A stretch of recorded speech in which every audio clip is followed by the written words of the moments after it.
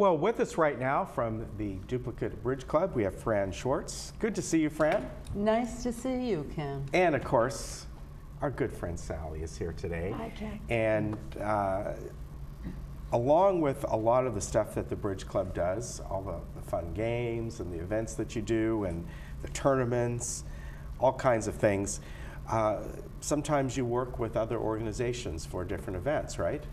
Yes, in fact, we're working with the Alzheimer's Association in conjunction with the program The Longest Day, uh, which is the summer solstice, June 21st. Uh, bridge, a, bridge players across the nation are going to be playing and raising money for bridge, uh, for the brain, and helping Alzheimer's research on that day. So, as far as the, uh, playing the games, are there going to be, uh, like for each game, a donation? Well, how it's going to be is uh, bridge players and, and any community member who wants to participate in supporting the Alzheimer's Research Fund can pick up a donation sheet at the Bridge Club or on our website uh, and contribute, ask their friends, their families, their neighbors to help support a team playing bridge that day. Okay. And uh, that way, I guess on these forms, you can donate Yes, whatever you'd like. or if you uh, don't want to do it online and you want to come up to the Bridge Club and pick up a form, there's a uh, form available on the a table and a box for you to put your donations in. Very good. Actually, uh, you can go to Laguna Woods, Laguna Woods Bridge Club. Okay, and LagunaBridge.com, right? dot Yes. com, And uh, hopefully we'll have something on the website at this point where you can hit and get that um, paper Okay. at home. Donation Yeah, so you don't have to come down and you might be sitting there and saying, maybe watching this segment, who knows, and say, you know what, I'd like to help on something like that. I remember Aunt Mary Yeah. or something like that. Or So if you're there a you go. bridge player in the community who doesn't belong to the Duplicate Bridge Club and would like to support this effort, uh, and all of us have been touched by Alzheimer's uh, in some way, either our friends, our family, our neighbors. Uh, we need to fight this disease as much as we need to fight cancer and other uh, diseases because they affect us all. Right, exactly. And I understand there are different special events planned for the day? Yes, we're going to have our regular game at 12:30, and uh, we will also be having a potluck at 5:30 and an evening game as well. Okay, so full day. So yes, a full day of bridge. Uh, we hope that some of our working players will make it to the evening game, and any bridge player in the community who wants to play that day and support Alzheimer's is welcome at our club. Yeah, and I know that uh, just from Sally being on and uh, some other people from the Duplicate Bridge Club, that there's a lot of people that maybe have haven't played for a long time and want to get back into it. And I know you offer different kinds of classes and ways for people to kind of uh, reconnect to the game of bridge, right? Yes, in fact, we had a wonderful program, Learn Bridge in a Day, and over 70 people participated in that. And from that, over 45 people have been taking continuing classes uh, on beginning bridge, modern bridge. Right.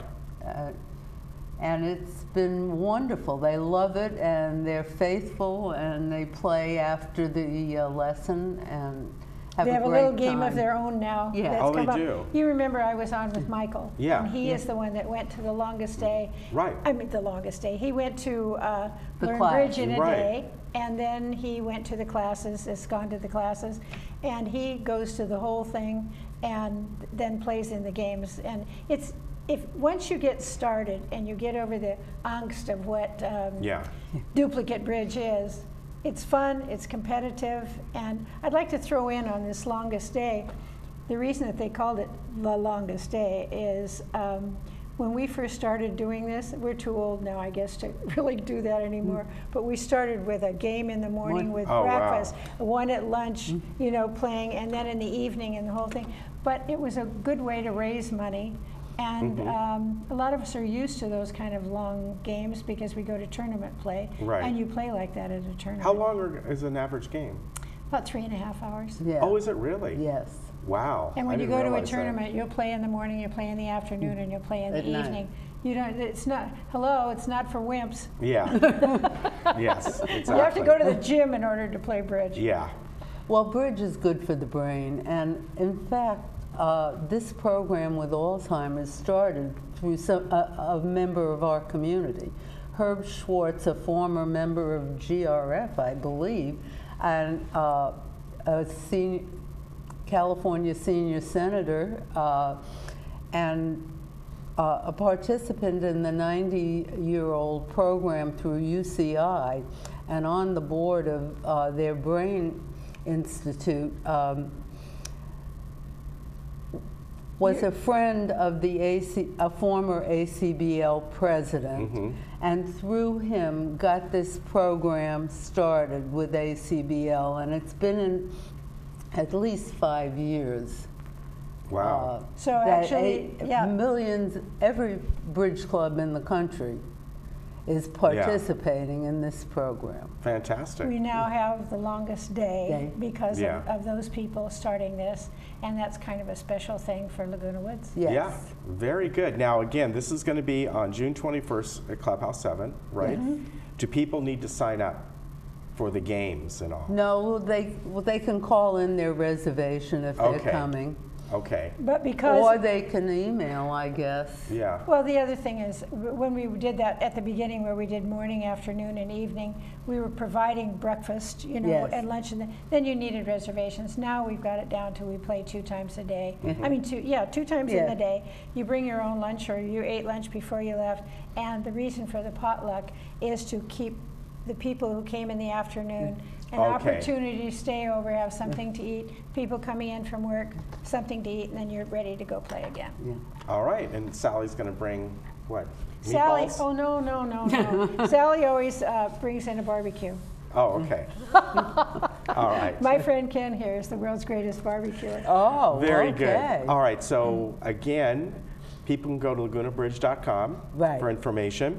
And then on uh, the 21st is the June 21st. We want to make sure it's, people know it's not May. Uh, they're going to have this at Clubhouse 7, and you can register online or uh, give you folks a call if uh, the number is 268-2420, which is the Right. number that's listed on your on your webpage. And if you just want to call that number and get some information from there. Yes.